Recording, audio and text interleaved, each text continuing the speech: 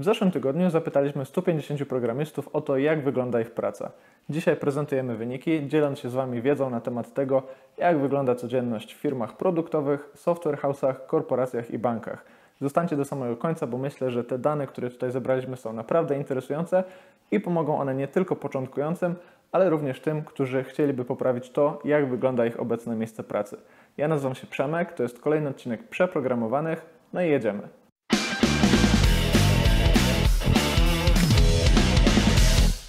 Na samym początku dwa ważne ogłoszenia. Po pierwsze, jeśli podoba Ci się to, co robimy na przeprogramowanych, to koniecznie zasubskrybuj nasz kanał, żeby nie przegapić kolejnych materiałów, które będą się tutaj pojawiać. A po drugie, jeśli chciałbyś lepiej poznać JavaScript, to zapraszamy Cię na nasz nowy webinar, który odbędzie się 26 kwietnia i będzie dotyczył domknięć w języku JavaScript. Jeśli chcesz poznać tematykę domknięć albo przetestować swoją wiedzę z tego właśnie zakresu, to koniecznie dołączaj więcej informacji w opisie tego filmu oraz na stronie przeprogramowanie.pl. A teraz już przeskakujemy do właściwej części tego filmu, patrzymy na dane i staramy się zrozumieć, jak wygląda praca w firmach związanych z IT i nie tylko. W dzisiejszym filmie będę się wspomagał odpowiedziami, bo tych odpowiedzi udało się zebrać naprawdę sporo i trudno byłoby mi pamiętać wszystkie te informacje, które chciałbym Wam dzisiaj przekazać, a myślę, że warto przyjrzeć się temu wszystkim dość precyzyjnie, także mam nadzieję, że nie będziecie mieć mi tego za złe, że akurat w takim filmie pełnym statystyk i liczb będę się wspomagał e, wydrukowanymi danymi. Jak wyglądała nasza baza ankietowanych? Mieliśmy 157 odpowiedzi. 28 pochodziło od osób pracujących w najmniejszych firmach, firmach zatrudniających do 10 programistów, 57 osób z firm 10-50, 28 osób z firm 50-200 i 44 osoby z firm, które zatrudniają ponad 200 programistów. Zebraliśmy naprawdę tonę wartościowej wiedzy i całą tą wiedzę zgrupowaliśmy w takie pięć kategorii. Po pierwsze, zaraz opowiem Wam o tym, jak wygląda kwestia rozwoju samego siebie, ale też rozwoju zespołowego, w zależności od rozmiaru firmy. Po drugie, opowiem o tym, jak wygląda kwestia tygodnia pracy, następnie pracy nad projektem, po czwarte, produktywności i takiej samooceny związanej z tym, jak po prostu wszystkim tym osobom się pracuje, a po piąte, przyjrzymy się najpopularniejszym aktywnościom w firmach produktowych oraz w software house'ach. No i zacznijmy od tej pierwszej kategorii, czyli własny rozwój. W kategorii numer jeden, czyli własny rozwój, wyodrębniłem takie trzy aktywności, które moim zdaniem dość pozytywnie wpływają na to, jak my się rozwijamy pracując w danej organizacji, ale też na pewno pozytywnie wpływają na rozwój całego zespołu, bo zespół przez te aktywności może się po prostu uczyć, uczyć się na błędach, ale też wspierać się nawzajem i wskazywać te zachowania, które po prostu warto promować.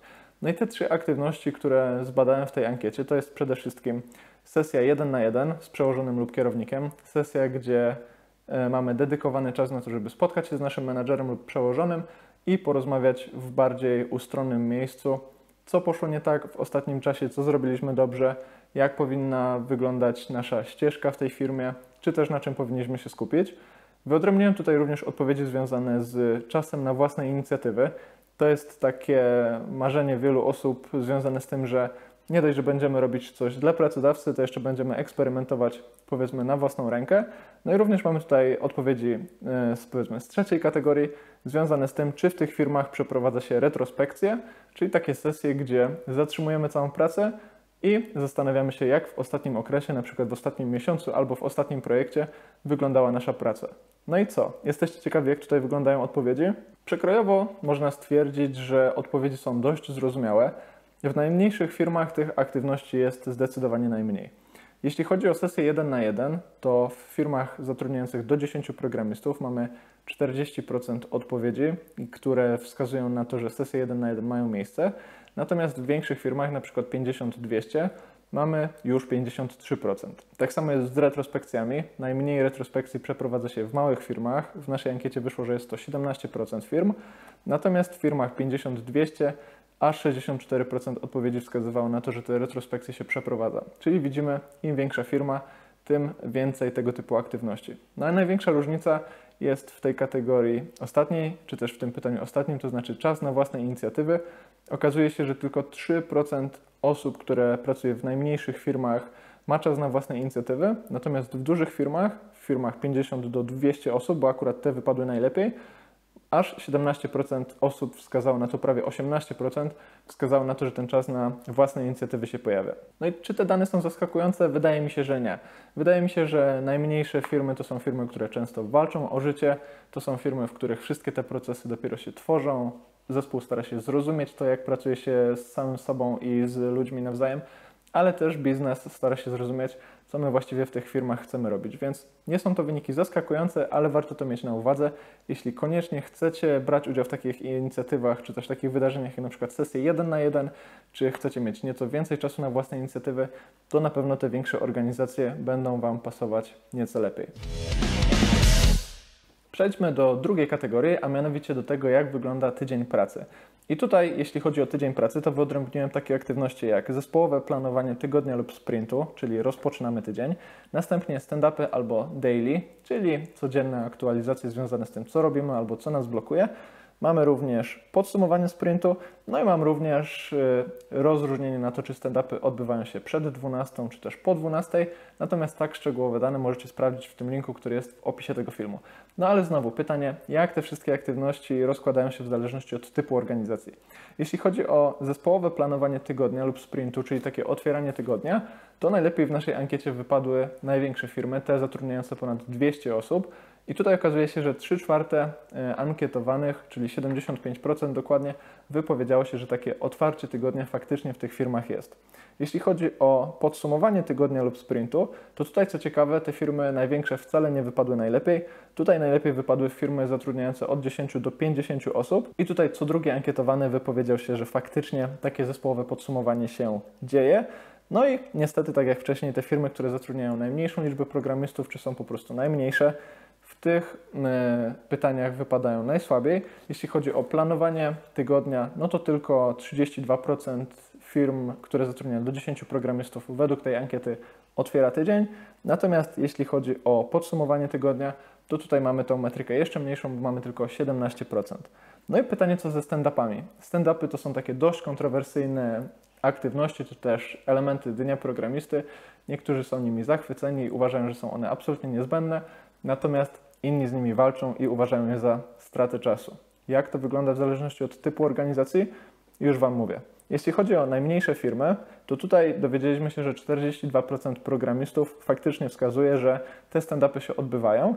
Natomiast jeśli chodzi o największe firmy, to tutaj 97,73% programistów i osób z tych firm wskazało, że właśnie takie stand-upy czy też daily mają miejsce. Wydaje mi się, że dość dobrze pasuje to do tej powszechnie panującej opinii związanej z tym, że im większa firma, tych, tym procesów faktycznie więcej, ale myślę też, że większe firmy po prostu rozumieją koszty braku synchronizacji i w pewnym sensie wiedzą, że takie aktywności jak chociażby stand-upy czy daily muszą wejść w krew, żeby wszyscy, między innymi zespół, ale też biznes był na bieżąco, jeśli chodzi o takie codzienne wyzwania. No i tutaj również widać zdecydowaną granicę pomiędzy tymi najmniejszymi firmami a firmami większymi, bardziej dojrzałymi, no bo o ile w firmach zatrudniających do 10 osób mamy tylko 42% pozytywnych odpowiedzi, czyli 42% programistów czy specjalistów IT wskazało, że te stand-upy się odbywają, no to potem mamy już praktycznie dwukrotny skok w górę i każda większa firma tę liczbę podwaja. 10-50 mamy 80 osób, 80%, 50-200 mamy 85%, natomiast 200 i więcej mamy 97,3%. Im większa firma, tych tym procesów naturalnie więcej i dokładnie to wyszło w naszej ankiecie. Jeśli wiemy, jak wygląda tydzień pracy, to teraz popatrzmy na to, jak wygląda praca na projekcie. W tej kategorii numer 3, czyli takiej, którą nazwałem sobie roboczo komunikacja wokół projektu, wyodrębniłem takie aktywności m.in. jak dema w trakcie projektu, czyli prezentację czy też synchronizację statusu w trakcie projektu, dema przed projektem, dema po projekcie oraz regularne spotkanie z biznesem. Czy mamy tutaj jakieś niespodzianki? No myślę, że największa niespodzianka związana jest z prezentacjami przed rozpoczęciem projektu, bo te wyniki naprawdę w pewnym sensie przerażają. Okazuje się, że żadna z firm, żaden rozmiar organizacji nie przekroczył 6%, jeśli chodzi o e, prezentację przed projektem. W firmach najmniejszych mamy 3% odpowiedzi na tak, że takie prezentacje przed projektem się odbywają. Prezentacje, które mają posłużyć temu, żeby poinformować osoby pracujące w tej firmie, co będziemy robić, po co to robimy, czy ktoś e, ma coś przeciwko, czy znamy jakieś potencjalne problemy, które już wcześniej możemy zaadresować. E, w firmach zatrudniających 10 do 50 programistów mamy aż 5% odpowiedzi na tak, no a potem leci w dół. W firmach 50-200 mamy 3,57%, natomiast w największych firmach mamy tylko 2% odpowiedzi związanych z tym, że takie prezentacje przed rozpoczęciem projektu się odbywają. Dla mnie jest to naprawdę zaskakujące, natomiast inne y, odpowiedzi, czy też inne aktywności nie są już tak bardzo zaskakujące, no bo okazuje się, że zarówno dema w trakcie projektu, jak i dema po projekcie najczęściej odbywają się w większych organizacjach, natomiast najrzadziej odbywają się w małych organizacjach, które, tak jak powiedziałem wcześniej, albo nie są dojrzałe, albo walczą, walczą o życie, albo po prostu nie chcą zabierać czasu programistom na to, żeby e, robić demka, co może się wydawać dziwne, bo pracą zawsze warto się pochwalić i warto często aktualizować ludzi wokół nas e, na temat tego, co właściwie robimy i w którym kierunku idziemy. No ale jest to zrozumiałe, więc jeśli chodzi o same konkretne liczby i tą aktywność prezentowania tego, co robimy w trakcie projektu, no to w najmniejszych e, firmach, w tych, które zatrudniają do 10 osób, okazało się, że co czwarta osoba, czyli 25% potwierdza, że takie dema e, mają miejsce, natomiast w dużych firmach już co druga osoba, nawet częściej, bo 56,82%. No i tak samo dema po projekcie, najrzadziej dema po projekcie i takie podsumowanie projektu robimy w małych firmach, co dziesiąta osoba potwierdziła coś takiego. Natomiast w większych organizacjach, tutaj najlepiej wypadły akurat firmy zatrudniające od 10 do 50 programistów, mamy 21,5%, czyli co piąta osoba wskazała, że takie dema po projekcie mają miejsce. Mnie najbardziej zaskakuje ta e, statystyka związana z prezentacjami przed rozpoczęciem projektu, no bo wydawałoby się, że wtedy jest ten najbardziej bezpieczny moment, żeby poinformować innych o tym, co robimy, zaadresować jakieś ryzyka, zaadresować zagrożenia, no ale okazuje się, że wcale nie jest to tak powszechna praktyka, jak mogłoby się wydawać. No i tutaj również w tej kategorii pracy nad projektem zapytałem o to, jak wyglądają regularne spotkania z biznesem, szczególnie w kontekście tego, o czym my tutaj bardzo często na przeprogramowanych mówimy, czyli całej takiej postawy product engineera i misji związanej z tym, żeby programiści byli po prostu stawiani blisko biznesu. Jak wyglądają tutaj regularne spotkania z biznesem? W najmniejszych firmach, tych, które zatrudniają do 10 osób, co piąta osoba, czyli 21% wskazuje, że takie regularne spotkania mają miejsce. Najlepiej wypadają firmy, które zatrudniają od 50 do 200 programistów, czyli powiedzmy takie scale-upy. No i tutaj mamy 42% e, odpowiedzi na tak, że te regularne spotkania z biznesem się odbywają. Mam nadzieję, że w tych pozostałych 60% firm to nie jest tak, że dostajecie specyfikację, zamykacie oczy i po prostu robicie. A jeśli tak robicie, no to może e, warto pomyśleć nad jakąś inną okazją na rozwój, bo naprawdę można pracować w inny sposób. No więc praca na projekcie wygląda właśnie tak. A teraz pytanie o produktywność i o to, jak czujemy się pracując w tych nietypowych covidowych czasach. W kontekście produktywności zadałem tutaj jedno proste pytanie, mianowicie każda z osób, które odpowiadały na naszą ankietę, miała określić to, jak czuje się właśnie, jeśli chodzi o produktywność. I mieliśmy tutaj cztery potencjalne odpowiedzi. Mój e, ostatni czas pracy jest mało produktywny, czuję się mm, rozproszony, czuję, że nie mam okazji na skupienie. Kolejna odpowiedź zależy od tygodnia, czasami jest lepiej, czasami jest gorzej. Kolejna odpowiedź czuję się produktywnie, czuję, że pracuję produktywnie, czuję, że dowożę, że mam czas na skupienie. No i ostatnia, bardzo produktywnie. No i tutaj te odpowiedzi pogrupowałem akurat y, ze względu na poziom doświadczenia, sprawdzając to, czy na przykład stażyści albo junior deweloperzy faktycznie mają najwięcej trudności z taką pracą w skupieniu, bo najmniej wiedzą, muszą się rozpraszać i tak dalej, i tak. No i może spra y, sprawdzając również to, czy na przykład seniorzy wypowiedzą się, że ta ich praca jest niesamowicie produktywna. No ale okazuje się, że w każdej z tych grup, zarówno jeśli, zarówno jeśli chodzi o grupę staż slash junior developer oraz mid oraz senior oraz na przykład manager, na których również tutaj spojrzałem, najpopularniejsza odpowiedź to jest zależy od tygodnia. Okazało się, że nie ma bardzo dużej zależności poziomu doświadczenia od tego, jak produktywnie pracujemy. W przypadku stażystów i junior deweloperów ta odpowiedź zależy od tygodnia, to było 40% odpowiedzi. W przypadku midów to było aż 60% odpowiedzi.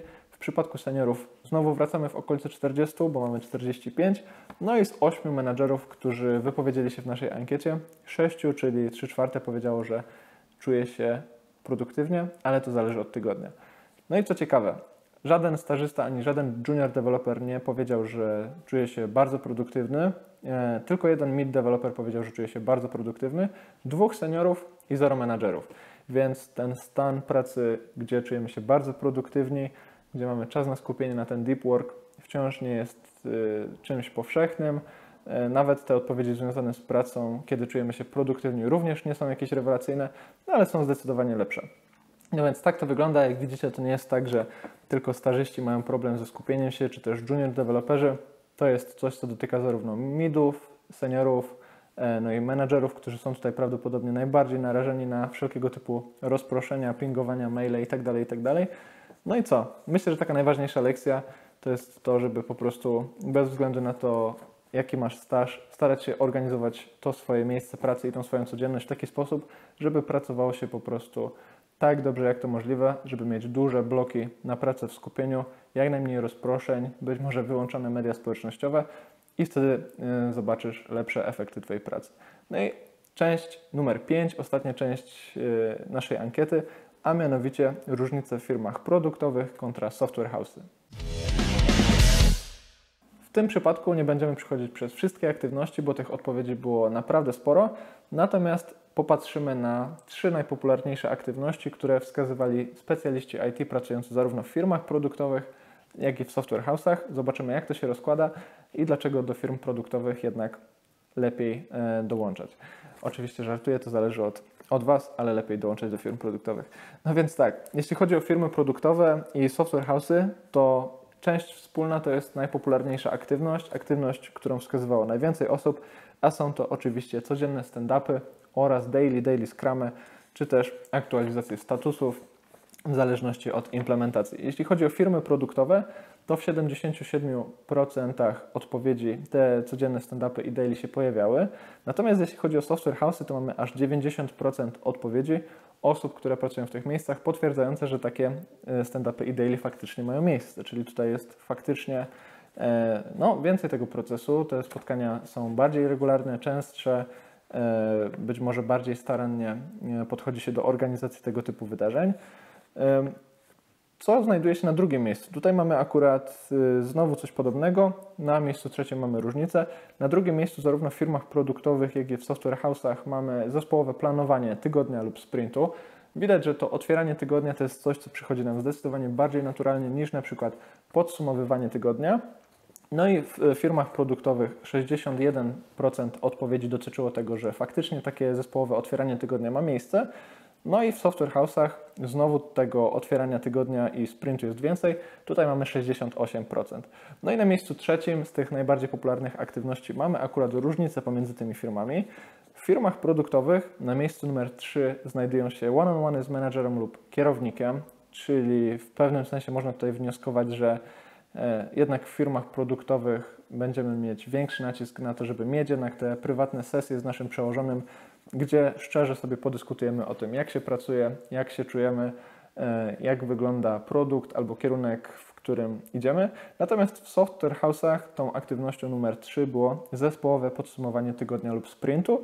Natomiast o ile pamiętam i zobaczycie to również w tym arkuszu, który jest dołączony do filmu, zaraz na miejscu numer 4 były również one-on-one. Różnica jest nieduża. W firmach produktowych one-on-one'ów mamy 54%, tak jak powiedziałem na samym początku. Natomiast w software house'ach tych podsumowań tygodnia mamy 51%. No i to by było na tyle. Jak widzicie, tych danych było naprawdę sporo. Udało mi się wydrukować trzy kartki i pogrupować te wszystkie odpowiedzi na pięć kategorii, ale myślę, że był to odcinek ciekawy. Bardzo często mówimy e, o tym, żeby rozsądnie podchodzić do wyboru miejsca pracy, ale też, żeby czerpać inspiracje z innych miejsc pracy kontekście ulepszania tego obecnego. No więc właśnie w tym kontekście mam nadzieję, że ten film był dla Was wartościowy. Jeśli liczb było za dużo, to wejdźcie w ten link, który jest w opisie filmu, tam cały y, spreadsheet i wszystkie te odpowiedzi oraz poszczególne wykresy, podsumowania i jeszcze więcej informacji, których tutaj nie było. Dajcie znać, jak to wygląda w Waszym przypadku. Dajcie również znać, czy czujecie się produktywni, czy nie, jak wpływa na Was y, pandemia koronawirusa. No i kto wie, może taką ankietę zaczniemy sobie robić co roku albo co kwartał i będziemy sprawdzać, jak te dane się rozkładają. Może to będzie taka nowa tradycja na przeprogramowanych. Dajcie łapkę w górę, jeśli film się podobał. No i zapraszamy na nasz webinar 26 kwietnia. Poznajcie JavaScript, będzie się działo. To tyle. Z tej strony Przemek, to byli przeprogramowani, a kolejny odcinek już w poniedziałek. Dzięki.